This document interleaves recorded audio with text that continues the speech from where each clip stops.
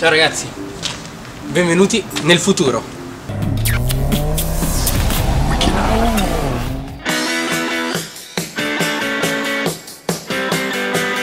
Oggi, 21 ottobre 2015, Marty e Doc arrivano nel futuro. Ed ecco perché vi racconteremo tutte le curiosità che siamo riusciti a trovare sulla fantastica trilogia di Robert Zemeckis. L'espressione adottata da Doc nella versione americana è Great Scott, tradotta in italiano come bontà divina nel primo capitolo. Nei successivi capitoli invece è diventata Grande Giove.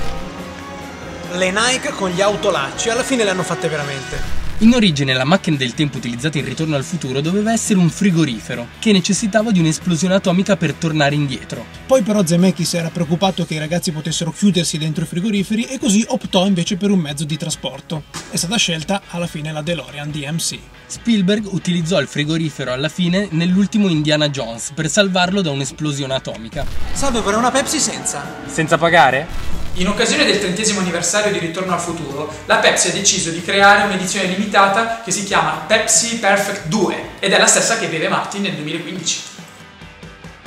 Questo è il giubbotto originale autoasciugante che Marty utilizza nel film.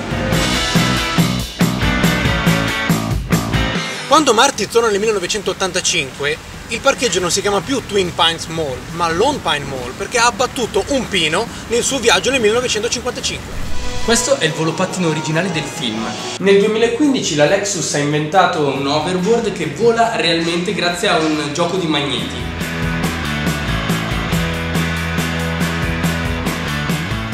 Oh ragazzi, la DeLorean è la macchina più scomoda in cui io sia mai salito. Praticamente sei per terra, spiaggiato, guarda, tocco, faccio così, tocco, tocco per terra.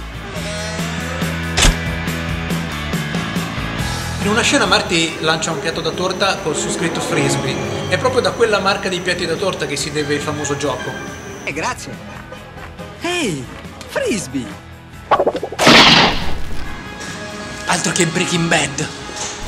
Loren crede che Marty si chiami Levi Strauss perché legge quel nome sulle sue mutandine. In realtà in originale è Calvin Klein.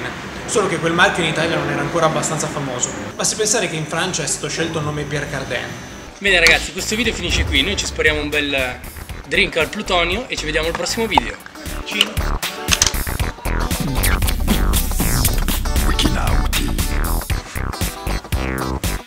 La DeLorean, dopo ogni viaggio nel tempo, era fredda gelata, non per un motivo scientifico particolare, ma per ricordare il fatto che fosse un frigorifero nella prima stesura della sceneggiatura. Ragazzi, questo è il flusso canalizzatore.